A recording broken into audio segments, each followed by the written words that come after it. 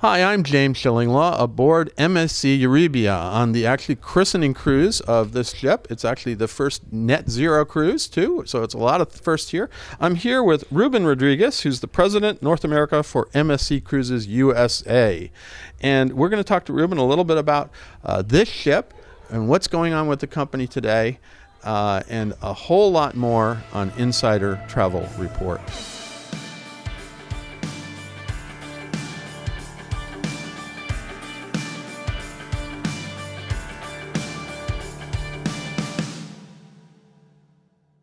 Now, Ruben, first of all, it's great to see you again on another, yet another christening. It's yes, it's fantastic to see you, James, and we seem to do this frequently, don't we? Well, you guys are doing it. I didn't make the last one, but I've done done my share of MSC uh, christenings in my time over the last ten years. Uh, so, uh, I mean, I keep seeing Sophia Loren all the time, and I, I believe she's going to be here too for this yes. one, right? Yes, she's the godmother of MSC Euribia. She'll be with us tomorrow. That's fantastic. I remember seeing her, you know, a long time ago, and I've, I, every time it's great to see her. Now, let's talk about um, what impact will this ship. This is the last of the uh, Meraviglia class ships that you have. It's the fifth one. What impact will this ship have on MSC and your ability to cruise many more destinations? So it, it, it has a meaningful impact. Uh, I would say on two fronts. At a global level, it's our latest and best step forward in terms of our investments in sustainability. You learned a lot about that, I know, this morning. Know. We had an interview with your sustainability head, and it was amazing how much, you know, we'll talk a little bit about that, about how much emphasis you're putting on sustainability. That's right. Whether it's, you know, MSC Ocean Cay Marine Reserve in the Caribbean or our ships like Euribia, our focus on sustainability is, is very significant and very important to, to all of us. It's in our DNA at MSC. So at a global level, it's our best step, best and latest foot forward. And it's, it's very appropriate for a ship that will be sailing in the North Sea, in the glaciers. And it's, you know, it's a very fragile part of the world. So it's appropriate that we really, really minimize our impact in, in, on the planet um, and, and make the planet better right? So that's at the global level. Uh, I know many of, of uh, your our advisors watching are, are U.S. advisors. For us in the MSC Cruises USA team, Euribia is very important because it's really opened up Northern Europe as a popular deployment yeah, for Americans. And which is Americans don't know don't as much. They got the Med down, but maybe exactly. not Northern. And you know what we're finding is that as we're growing, and we're growing very rapidly, James, we had 2.7 times the level of bookings in the first quarter of 2023 or what we had in 2019. Mm-hmm. So we're growing a lot, and people think of our growth as being so much about our U.S. ships. And sure, of course, the ships, the fabulous ships we've deployed in Miami and Canaveral in New York are a big part of it. But we're also growing a lot around the world with more Americans selling, sailing with MSC around the world. It used to be mainly the Med, but now we're finding that these beautiful, innovative, sustainable new ships are also very, very much attracting American guests that are experienced cruisers and want to try these new ships with MSC in other parts. So, for example, this past winter, the Emirates, for the first time, was a very popular destination. And you, with you, World you, you, and you christened the ship in Qatar, right? That's right. So, World Europa turned out to be the first time that we really had a meaningful penetration into the Emirates with Americans. Same with Euribia with Euribia, we're seeing as many as 20% of the guests on board coming from the US, which is remarkable growth in Northern Europe for us. So uh, it has a global implications and it has American implications, so we're excited about it. No, and it's great. So now we can cruise Northern Europe, and I looked, you had a map of all the different places that MSC has cruised. It's pretty much globally now, right? It's very global. It's very, very rich deployment, whether it's really unparalleled deployment in the Med, East, West, so many embarkation ports. Northern Europe, several ships, both doing the pearls, right, the beautiful cities of the Baltic, as well as the glaciers in the North Sea, uh, and and and uh, the British Isles as well. Uh, you know, we're a market leader in the Southern Hemisphere, both South America and South Africa, and of course, we're growing very rapidly in the Caribbean and uh, and in North America, and and now relaunched Japan, which we're very excited. I know. About. I just I heard that you you are in Japan, and it's going to be really as you're spread across the Pacific, it's going to be great great. Now, I couldn't let you go with telling me like everybody's asking me, what is Eurybia? What's where's that name from? Eurybia is one of the goddesses of the season. It's a goddess that that really uh, harnessed the power of the winds and the waves to be the master of the seas. And that is, as you know, the ocean is in our DNA. It's our, in our DNA in, in the brand, in the company, in the Aponte family, the ownership, and being the masters of the seas and protecting the seas is our our great mission, and therefore uh, it seemed like a fitting name for No, our that- latest uh, ship. Absolutely. Now that I know what it is, I, I totally agree with you. Now, uh, let, us talk a little bit about how, because you've just launched as well, you mentioned in Qatar your first of your new world class, which is World Europa. How does this ship, because which is the fifth in the series, differ uh, from World Europa? I know World Europa is, is a bit bigger, right? It is bigger. It's a, it's a beautiful ship, uh, and and we're very familiar with this question in the U.S. because we're fortunate that we have we'll soon have all three ships in the U in the U.S. ports. So, uh, as you know, MSC Euribia is a continuation of the Meraviglia class, and MSC Meraviglia sails from New York, and and we think of MSC Meraviglia, which is a very popular ship. Our guests love Merav- Meraviglia. We see this class of ships as the ship for all seasons because it has both wonderful outdoor experiences, but many indoor experiences, whether it's the Sportsplex or the the beautiful Galleria with the dome, or um, you know our racing simulators, or our indoor pool that has a retractable roof. Um, so we've deployed this this class of ships in New York because we're year round in New York, and of course you have to cover for all seasons. That's very different from the Seaside class and what we call the Seaside Evo class, such as Seashore and Seascape, which are ships that have a lot of outdoor space, uh, don't have as many indoor facilities like the Sportsplex, but have far more outdoor space. Many of the restaurants have both indoor and outdoor dining. Um, there are multiple outdoor pools. There are multiple outdoor amenities. Um, and it's really a ship for warm weather. So we sail, of course, that class of ships from Miami into the Caribbean. Um, and we also use those ships in South America.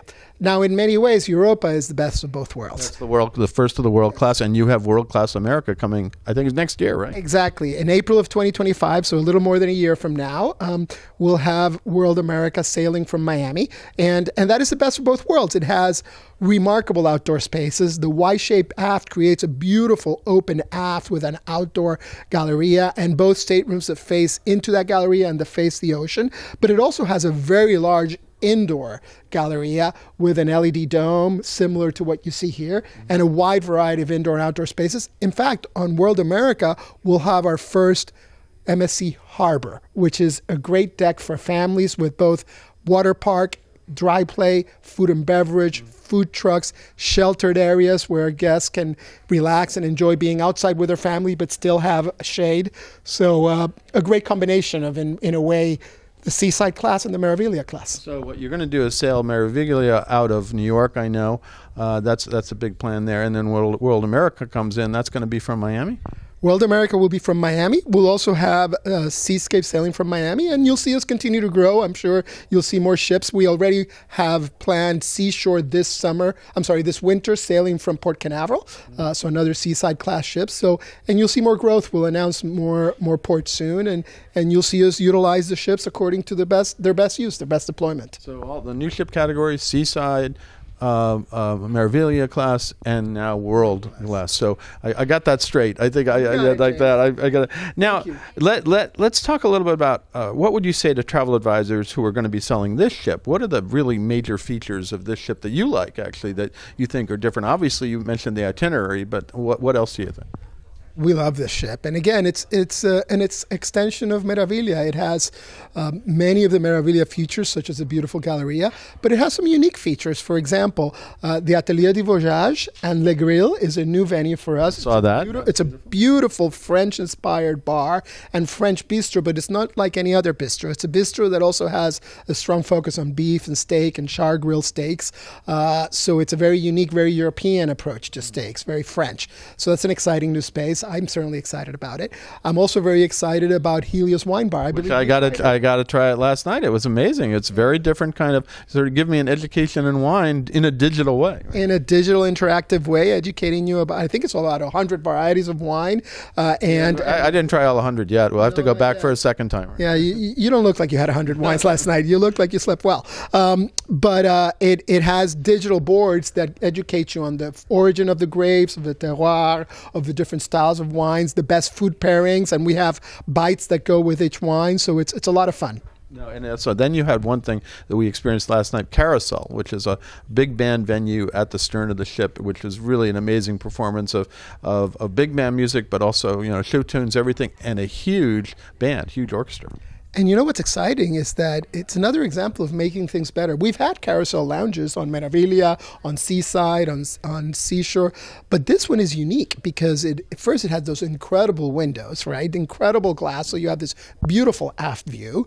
Uh, so you can use it at night for entertainment, but during the day to have a cocktail, to watch, see the beautiful views, to enjoy that big band, and then it has an outdoor terrace space as well, so that it's. we didn't go out there last night. We were just listening to the band, but they were amazing, yeah. and they do a great performance. I understand they have different music every night. That's right. That's right. It's very exciting. It's a big band. Yeah. So that's a few of the features that you can get on this ship. Now, it's my final question to you. Uh, what what progress have you made in terms of brand awareness in the United States uh, and North America? Because uh, I mean, I've been following MSC for 15 years or whatever, and you, you still had that challenge. And we were talking about it earlier. It's not like other brands don't have challenges. People can't remember what cruise they were on, uh, but MSC in particular, given how big and how big a profile it has, and how important it, it is in leading the way in certain things like sustainability, that uh, you, you, need a bigger profile, and uh, most people have to say, "Oh, I know what MSC Cruises is." And so, how, how much have you got that brand awareness going? We've seen significant increase. You know, we shifted our strategy. Uh, uh when I joined, we, we shifted to a strategy of meaningful marketing investment across different media, not just TV and radio, but also digital. And actually, ironically, instead of the broad approach we had historically, advertising nationwide, we really focused on the key markets where we source most of our U.S. guests. Mm. Uh, we focused on Florida, Georgia, we quickly added New York, yeah, the Northeast. I have seen I've seen a lot of MSC stuff in the in the Northeast, absolutely. And you will see us add more more DMAs, but by focusing and by increasing our dollars significantly, we're spending over 3x what we did in 2019 and ensuring it's very effective and monitoring the impact. So we literally have brand surveys every through 2 to 3 months and we monitor awareness. We've seen dramatic increases. To give you an example, of course, the Miami DMA knows cruising well. So before we started this process, Miami was already our highest aided awareness awareness. It was about 18% of the respondents w- were aware of MSC when when suggested several brands. It's now over 40%. In New York, That's where amazing. Yeah, where New York, where it used to be 8%, it's now over 20%. So we keep growing, and every quarter we see these investments are paying off in higher awareness. Also in Georgia, in other DMAs in Florida, in Orlando, the Orlando DMA, Central Florida, it's now our largest U.S. source market. That's amazing. That's great. And now you've launched this new series of things tied to your sustainability campaign. And so it's the first campaign I've ever seen that focuses on sustainability. And I guess you don't have the numbers quite back yet, but apparently they're they're looking pretty good. They are, you know, and it's it's important to not only build awareness, but to build consideration, right? You want guests to be aware of you and to consider you for their vacation. And you want the right guests to consider you, right? The guests that will come on board and really enjoy MSC. So we're really focusing on that target audience, and we're working with our advisors to specifically focus on consumers that are curious travelers that love international destinations, that are drawn to our European heritage, that are drawn to our very global deployment, mm-hmm. and also consumers that care about deploy- about sustainability because we are deeply committed to that. So by you know, by pursuing this relatively unconventional and bold approach of a of a TV commercial that, that talks about our sustainability focus, we wanted to attract that audience that cares about it, and, and we're seeing it. Not only is our awareness growing, but our our connectivity with those consumers that care about sustainability is improving, which improves our consideration. That's great, and it's good to see that that's happening. Both your your your awareness, the brand awareness, and also this sustainability awareness, because you are leading the way, I think, in that regard. Uh, Ruben, I want to thank you for taking the time. It's great to be on board here on MSC Euribia with you. We're going to have the christening, I think, tomorrow yes. uh, with Sophia Loren, yes. um, and I'm looking forward to that. And I guess uh, we'll have to talk again, if not before then, but next April for uh, uh, World America, right? We look forward to that. We look forward to welcoming MSC World America and having, having you there. And thank you to your audience for joining us. It's great to see everybody. I'm James Shillinglaw, and this is Insider Travel Report.